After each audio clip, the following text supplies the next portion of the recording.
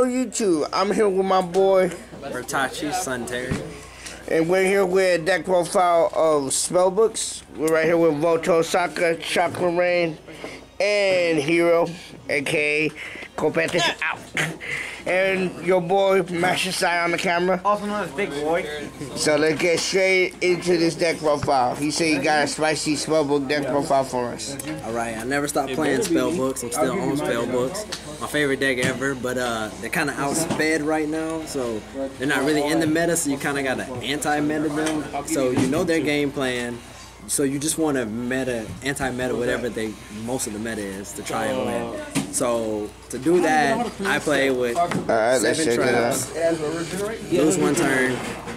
I have to use that because um because people special summon so fast and they usually get to attacking me, so I automatically do lose one turn, so I can at least get another turn, make that special summon monster, slow down all the special summons they come in too much. If you can't slow down special summons, you're probably gonna lose the spell. book. Solemn warning, of course, try to stop special summons, normal summons. Mirror Force, case they get through, just for some reinforcements. Uh, storming Mirror Force, you could maybe do Quaking Mirror Force any of the mirror forces just to help you and uh, debunk sometimes.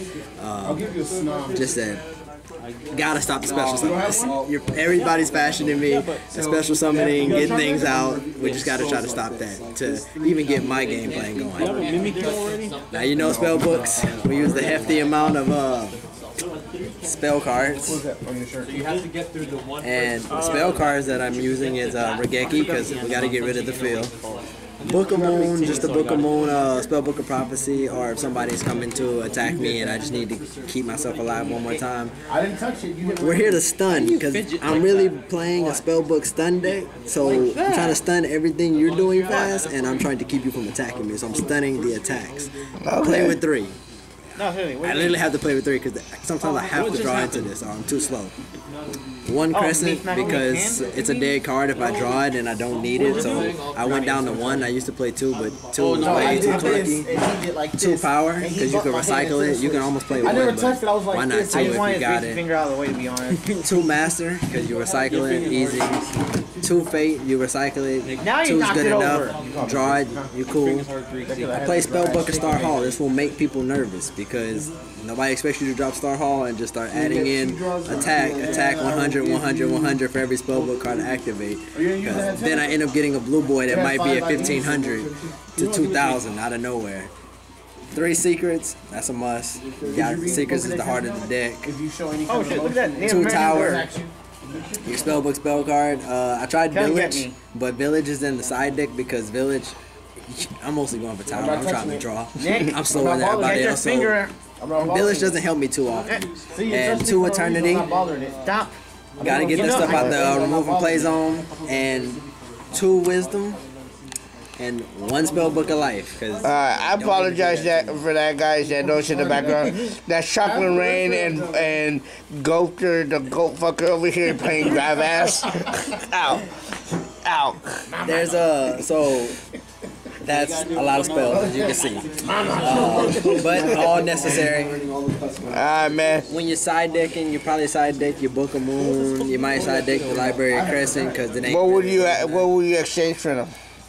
Um, exchange for them. It depends on the deck. 'Cause this is a, this is the main core of spell books already, so you can literally replace anything with anything you need. Macrocosmos, Summon Limited, Kaiser Coliseum. You literally can choose any of them. That's why it's just really built against going against the meta. Whatever deck you're going against. Uh, the tricky. Because sometimes I just need a special summon card, get it on the field, so I added a tricky in. And sometimes I just need a spell book card, I mean a spell caster monster. Kycoo the Ghost Destroyer, just so I can attack. He gets to 2000 easily with Star Hall. Justice, just for her effect. With Priestess and adding in a spellbook spell card. Two Temperance, that he's weaker. Sometimes I don't, sometimes I don't like her, but I do when she, because she can get to 2000 a Jowgen, because you got to stun. You don't want too many special summons. So I'm trying to stun you. Everybody. Trying to stop your graveyard. Three blue boys. You gotta have blue boy. Ain't no choice if you're gonna run spell books. And three priestess. So Damn, look at her. She was my girl at some point. First edition. First edition right here. All, Yeah, all the way. That's All the beautiful. Way. Is there anything you would change in? Is there anything you would change in your monster lineup? Hand rolls got dark. Nah, monster lineup. Hand a good choice. I wouldn't change anything. Maybe, No hand traps, nothing like that. No, no hand traps. because I'm literally trying to trap them with the field. could pull out. So if I change anything, it's like going to more threatening roars, it's a psychic. uh, Black Horn of Heaven, because I'm trying to stop special summon Soul Drain. I need them to stop negating stuff from the field, activate their graveyard. Okay. Um, maybe may go another Dark Hole, or they got too many cards in the back row, so you go Mystical Space Typhoon. Oh, my bad. I. I really haven't picked a side deck because it's pretty anti-meta itself already. Uh, villages, um, and really side deck.